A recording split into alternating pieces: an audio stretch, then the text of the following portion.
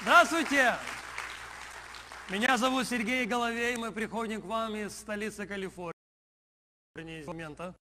Огромнейшая благодарность всем и каждому. Это прямой эфир, прямое включение из нашего русскоязычного собрания. Здесь, Церкви Христианской Веры, и слов недостаточно, чтобы выразить огромнейшую, огромнейшую благодарность всем и каждому за то, что вы вместе с нами. В 12.30 по Тихоокеанскому времени, в 3.30 по восточному здесь, на американском континенте.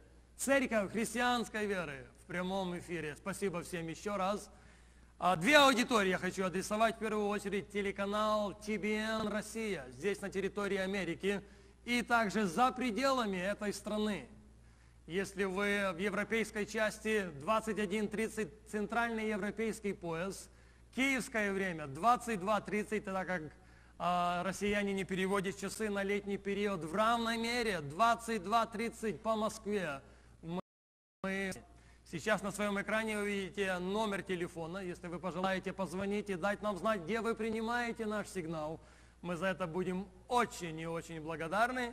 Или свяжитесь с нами через электронную почту. Спасибо всем еще раз и всем и каждому.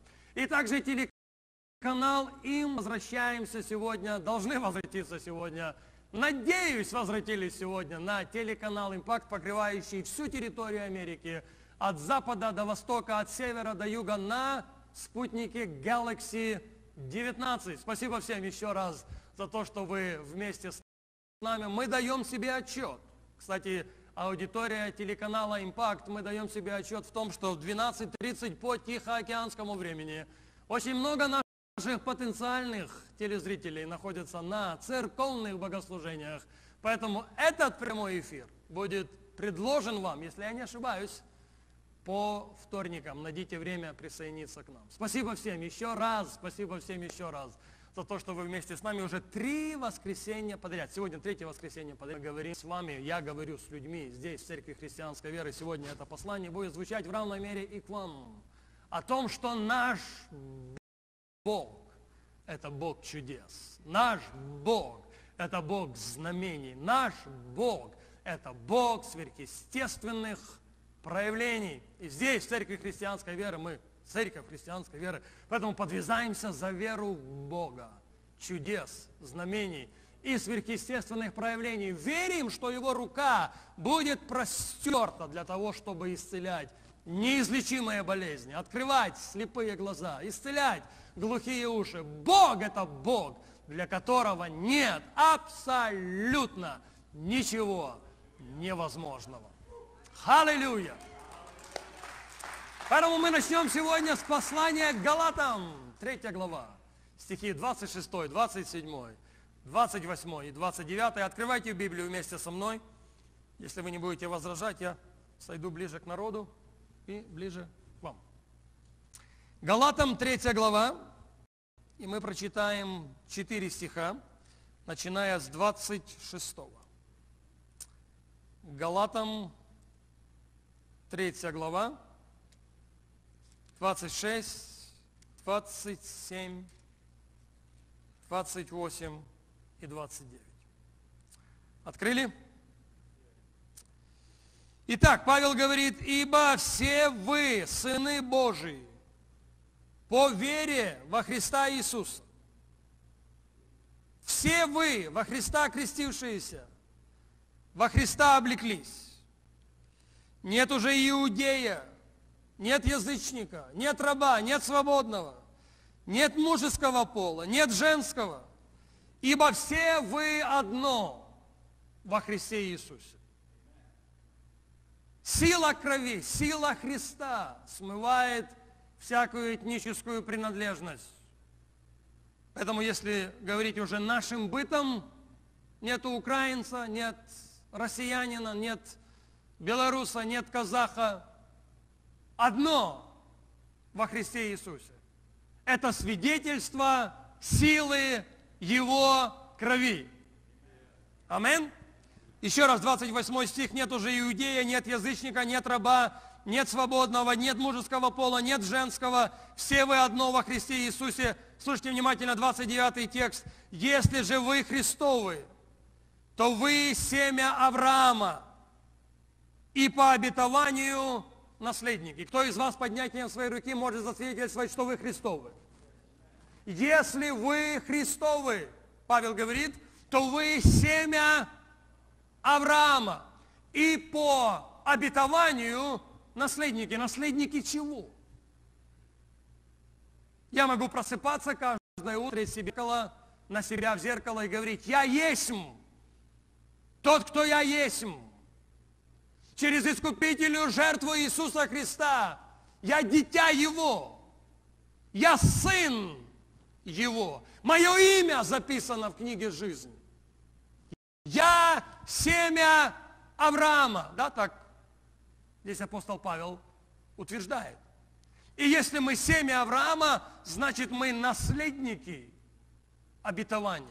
Мы наследники обетования, и мы по обетованию наследники. Я спрашиваю себя, я спрашиваю сегодня у каждого из вас, наследники какого обетования? У Авраама их было много. И каждое слово, которое Бог дал Аврааму, он исполнил. Потому что он не человек, чтобы ему лгать, и он не сын человеческий, чтобы ему изменяться. Но одна из вещей, и на нее мы делаем ударение в серии этих проповедей, одна из вещей сводится к тому, что Авраам стал обладателем сверхъестественного. И об этом очень конкретно прописано в книге «Бытие», в 17 главе, в первом стихе, именно туда мы с вами сейчас и обращаемся. Бытие, 17 глава и стих номер 1. Открываем вместе Бытие 17.1. Слушайте внимательно. Слово Божье говорит, Авраам, еще не Авраам. Это Авраамом он становится в продолжении этой главы. Авраам был 99 лет. И Господь явился ему и сказал, я Бог всемогущий. Бог явился Аврааму в 99-летнем возрасте и говорит, Авраам, слушай внимательно, я есть Эл Шадай. То есть вы знаете, что Бог говорит по-русски, но с Авраамом он по-русски не разговаривал. Поэтому он говорит, я есть Эл Шадай. А что это значит? Это значит, что я Бог все могущий. Я не Бог на 50% могущий. Я не Бог на 75% могущий. Я Бог все могущий. Другими словами, нет абсолютно ничего, что Бог не смог бы сделать.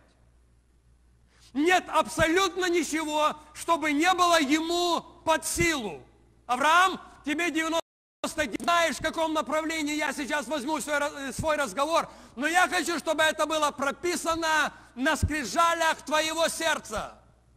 Чтобы это было прописано в твоем сознании, чтобы это было прописано в твоем подсознании. Я есть Эл Шадда.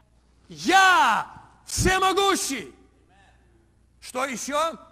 Я все достаточный. All sufficient. Я все достаточный Бог. У меня нет, нет.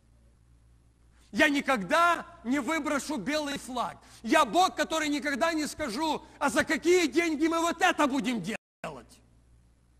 Я все можно поправить себя. Я все для всех достаточный. Нет нужды, которую мой Бог не мог бы восполнить. Я Бог все могущий. Я Бог все достаточный. Слушайте внимательно. Я Бог всех превозмогающий. Я никогда не останусь загнанным в угол. Я всегда буду на высоте. Я всегда побеждаю. К концу дня я всегда в триумфе. Я Бог беспроигрышный. А что апостол Павел нам написал? Говорит, если вы во Христе, если вы в беспроигрышном Боге, то как вы можете проиграть? Если вы в Боге вседостаточном, то как вы можете оказаться в состоянии какого-то недостатка? Если вы в Боге всемогущем, значит Он в вас и через вас может все. На что я делаю акцент? Я делаю акцент на следующее, что так как мы семя Авраама, и по, наследники, по, на, по обетованию наследники, и наследники, или по обетованию наследники и наследники обетования, то мы имеем полное право ходить. В чем ходил, кстати, он назван нашим отцом. Отец веры Авраам. Мы можем иметь доступ к Богу сверхъестественного. Но это не приходит как результат просто посещения церковного собрания. Это не происходит в результате, что человек насидел определенное количество часов на церковной скамье. Это приходит непосредственно через откровение.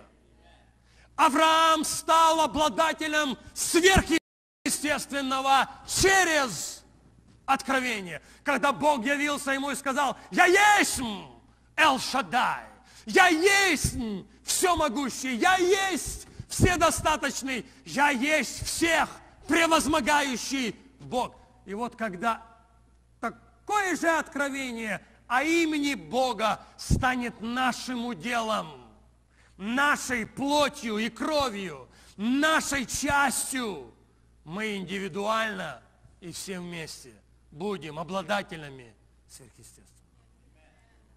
Я повторяю еще раз, это не приходит как результат того, что человек я принял водное крещение 50 лет тому назад. А я духовное крещение пережил 45 лет тому назад. А я член одной и той же самой церкви последние 20 лет. А я на одной и той же скамейке просидел последние 15 лет. Это разницы никакой не производит. Что апостол Павел сказал? Я от самого но я должен повториться, это производит разницу. Дух Святой в нас производит разницу. Мы в церкви производит разницу. Мы сидим и слушаем Слово, производит разницу. Но в какой-то момент слышимое Слово должно войти в нас. И мы можем сказать, как сказал апостол Павел, я от самого Господа принял то, что он никогда не был на тайной вечере. Он не видел, как Христос, Христос брал в хлебе и преломлял. Он не, он не видел, как Христос брал чашу и благословлял. Я, говорит, от самого Господа принял то, что и вам передал, что в ту ночь, в которую Христос был предан, я видел это в духе. Я принял это не от апостолов, не в библейской школе меня этому научили. Я принял это непосредственно от Него. Это то, что делает христианство христианским. Это то, что делает христианство настоящим. Не просто какой-то одной из религий. Христианство делает христианским. Христианство делает настоящим. Личные, близкие, вза взаимоотношения, когда каждый может сказать, я от самого Господа принял. Вот я молюсь, чтобы к концу этой серии проповедей каждый, и я, и каждый из вас могли засвидетельствовать безбоязненно, без, без, без, без, без, без, без содрогания в голосе. Я принял от Него откровение Его имени. Я знаю, что я знаю, что я знаю, что Он Эл Шадай, Он всемогущий Бог.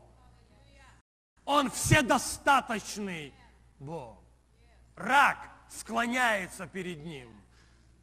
Сахарный диабет склоняется перед ним. Неизлечимые болезни склоняются перед ним. Зависимость склоняется перед ним. Алкогольная или наркозависимость склоняется перед ним. Семейные проблемы склоняются перед ним. Неверующие дети склоняются перед ним, потому что он Эл Шадай.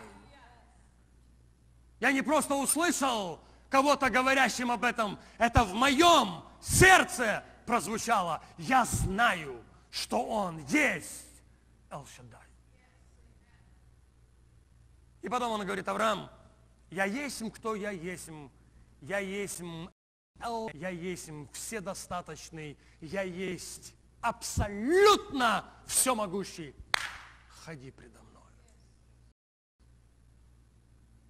Если ты хочешь, другими словами, я интерпретирую это Писание таким образом, если ты хочешь, чтобы это откровение воплотилось в твоей жизни, начни с того, что ты будешь ходить передо мной. Ты не ходишь перед людьми. Ты не зависишь от мнения людей. Если от какого-то мнения ты должен зависеть, ты должен зависеть от моего мнения о тебе. Ходи передо мной. Что значит ходить перед Богом? Ходить перед Богом – это значит ходить в вере. И мы этому уделили целое собрание в прошлые выходные. Сегодня я хочу сделать шаг дальше, если вы не будете возражать, потому что Бог продолжил. Авраам, я есть Эл Шадай. Я есть всемогущий Бог. Я есть вседостаточный Бог. Будь непорочен передо мной. Ходить важно, но ты в равной мере не должен упустить из виду, что я Бог, претендующий на тебя непорочного, на твое хождение непорочное, на твои слова непорочные, на твои мысли непорочные, на твои взаимоотношения непорочные. Ходи передо мною, Ходи в вере. Помните, я делал ссылку в прошлый раз на эту женщину, которая слышала, слушала Христа. Это 11 Луки. И когда Христос, мне кажется, это был такой кульминационный момент. И она вдруг кричит, «Эй!» Она захотела склонить на свою сторону внимание всей аудитории. «Блаженно чрево, тебя носившее!» Она восклицает ну, комплимент. И Христос говорит, женщина, по большому счету, настоящее блаженство – это когда ты станешь чревом. Это когда твое сердце станет чревом, в котором будет помещено семя всемогущего Бога. В котором семя всемогущего Бога будет сохранено и в котором оно прорастет. И вот уже несколько воскресений подряд мы говорим, что Он Эл-Шадай, Он всемогущий, Он вседостаточный Бог. Почему я на это делаю ударение? Потому что я хочу, чтобы это семя упало в твою внутреннюю, в мою утробу, духовную утробу. И когда оно упадет и прорастет, мы увидим своими глазами Бога чудес. Бога знамений, Бога сверхъестественных проявлений. Вы здесь или нет? Итак, ходи передо мною и будь непорочен. Вы знаете, что меня в этом случае настораживает больше всего? Меня в этом случае настораживает следующий факт. Можно быть представленным сверхъестественной природе Бога и все еще оставаться грубым в своем сердце и холодным в своей любви. Услышьте меня. Вера не от чудес. Вера для чудес. И сегодня на ряде священных писаний я постараюсь продемонстрировать людей, целое общество, которая видела чудеса, не раз в год через год. Поколение, которое видело чудеса каждый день и оставалось с огрубевшим сердцем. На Изелем – это один из самых больших парадоксов. Быть представленным силе Божьей, быть представленным чудесам, быть представленным знамением и оставаться с огрубевшим сердцем. Потому что чудеса сердце не смягчают. Чудеса веру не рождают. Послушайте, что написано в Евангелии Иоанна, в 12 главе, в 37 стихе.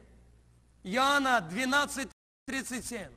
Слово Божье говорит, столько чудес сотворил Он перед ними. И они все уверовали в Него. М? А что вы замолчали? Что написано? Столько чудес совершил Он перед ними. И они не веровали в Него. Что это доказывает? Это доказывает, что вера не от чудес. Вера для чудес. Оставайтесь со мной. Посмотрите, книга чисел, 14 глава, 11 текст. Чисел, 14 глава, 11 текст, первая половина говорит, «И сказал Господь Моисею, доколе будет раздражать меня народ сей». Вы когда-нибудь видели Бога злым? Сегодня так много посланий. Бог любви, Бог сострадания, Бог милости. И действительно Он милующий. И действительно Он любящий. И действительно Он сострадающий. Но иногда любящий, сострадающий, прощающий, покрывающий нас Бог становится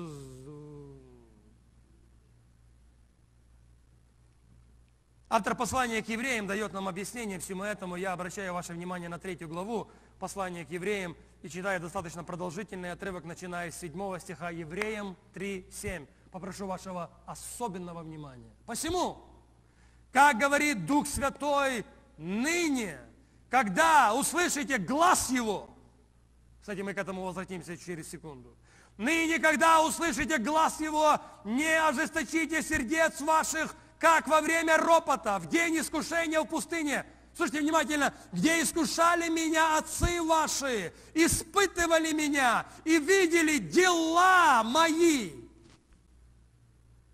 Что они видели? К чему сводились его дела? Кстати, 40 лет. Это не было чудо раз в год через год. И потом по всем христианским каналам чудо произошло, чудо. Я не бросаю камень в христианские каналы ни в коем случае. Каждый день они просыпались, и Господь манну накрывал. Впоследствии автор древности напишет, хлеб ангельский ел человек. 40 лет. И Бог все эти 40 лет демонстрировал, я есть Эл Шаддай. Если надо, я буду кормить тебя 40 лет, каждый день. Одежда не, не, у них не, не, не... Я не знаю, как можно ходить в одной одежде 40 лет, но тем не менее, это совершенно другой вопрос. Надо вода? Пошла вода из скалы. Надо мясо? Едят мясо вдоволь. Жарко? Начинает роптать? Господь кондиционер включает. Холодно, согревает их. 40 лет они видели руку Его. 40 лет они были представлены чудесам. 40 лет они были представлены знамением. 40 лет они были представлены сверхъестественным проявлением Божьим. 40 лет. И что с этого получилось? Смотрите еще раз.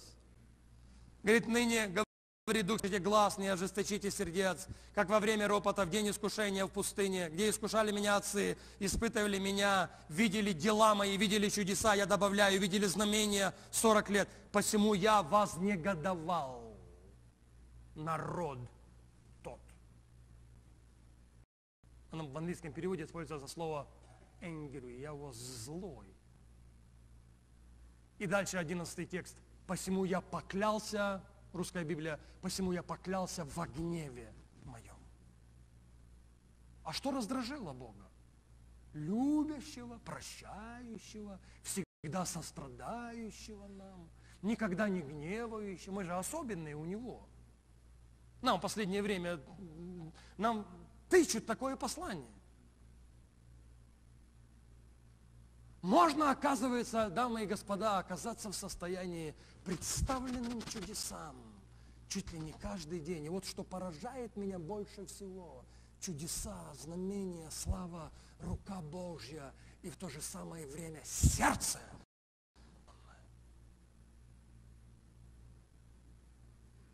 В силу этого Господь предупреждает Авраама, Авраам, я есть Эл-Шаддай, я есть Бог всемогущий, я есть Бог вседостаточный, ходи передо мною и не только.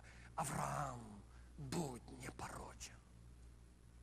Наблюдай за сердцем, потому что от него источники жизни.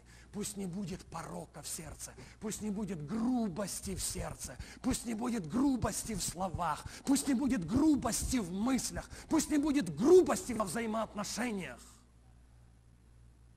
А мы думаем, нам бы чудо увидеть, и город покаяться. Нам бы чудо увидеть, и сердца людей смягчились бы. В подавляющем большинстве случаев это не происходит. Три с половиной года он был с ними. Три с половиной года он творил чудеса. Три с половиной года он учил, и они еще не верили. согласно иудейскому преданию, было четыре чуда, которые должен был совершить Мессия. И совершенные Мессией чудеса, четыре, должны были поставить точку над, над «и». Как бы все, вопрос решен. Он! И все четыре чуда были продемонстрированы Христом. И они все еще не веровали в Него. Потому что вера не от чудес. Вот почему Дух Святой говорит, когда услышите глаз, вера приходит от слышания, а слышание от Слова Божия. Вера не от чудес, вера для чудес.